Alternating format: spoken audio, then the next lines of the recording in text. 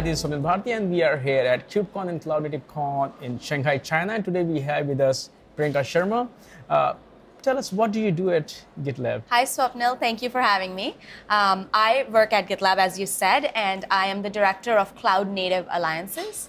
I have a very interesting role where I focus on our partnerships, technology partnerships with uh, anyone in the cloud native ecosystem. So it could be a cloud provider or, or a startup. I'm actually leading our serverless efforts and working with a company called TriggerMesh on that. So I have a wide range in the partners itself.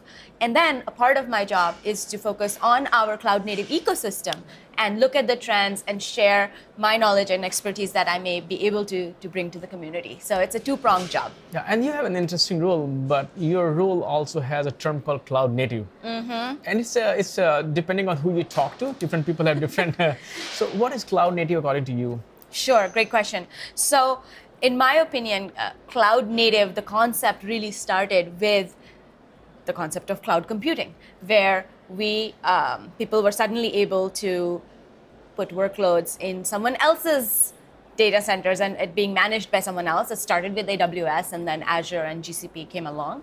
Um, with that, that shift, that fundamental shift, people were just able to build software differently. And uh, technologies that help with that are cloud native technologies. Kubernetes enabled this whole process, and I think of it as the father or mother, parent, parent, gender neutral. Right. It's the parent of the cloud native landscape today. Uh, but I think the true beginnings are when cloud computing came about. But also, as we, uh, by we, I mean industry move or community moves toward to embark on their cloud journey, there are so many struggles, there are so many challenges, yes. there are so many tools, there are so many tool chains, there are so many toolkits.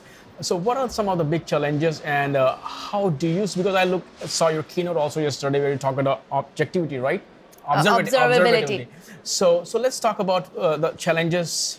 Uh, and what are those challenges are technical mostly i yes. won't go into the human challenges for now sure, so sure. can we talk about that yeah absolutely so as I was saying, with the advent of Kubernetes, we could build software differently so it could be shipped faster and more reliably, which is essential for any business that is trying to compete in today's landscape, right? So that's all good.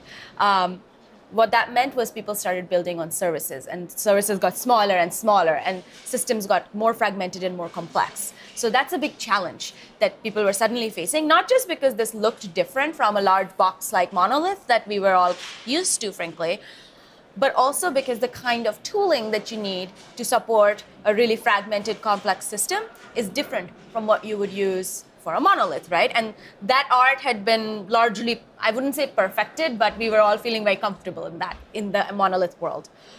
So now that we were in this fragmented system and we needed tooling, I see the last year or two as an explosion of all sorts of options, whether it's in observability, whether it's in CI/CD, whether it's in security, etc., all enabled by Kubernetes. And you just had to go to a KubeCon, CloudNativeCon, and look at the sponsor booths, and it was it was crazy, right? The number of companies that were there, and often they it was a little hard to distinguish one from the other. Right. And that to me felt like this is a bubble, a little bit, a little bit.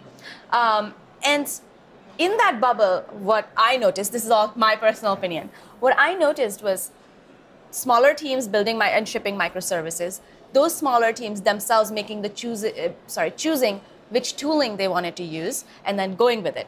Great for empowerment, great for moving quickly. Now in those in the years that in these last two years, as people have done that more and more, things are coming to a head on an organizational level. So what is happening is with more microservices came more projects, came more teams, came more different kinds of tooling, all within one company. And suddenly, they are kind of in the toolchain crisis because they're paying the price of having to acquire all these different types of tools. And anyone who's worked with procurement knows how hard that is. Then they're paying the cost of integrating, and every team's doing it. And if you start to choose one over the other, then you have to go through that process again at a larger level.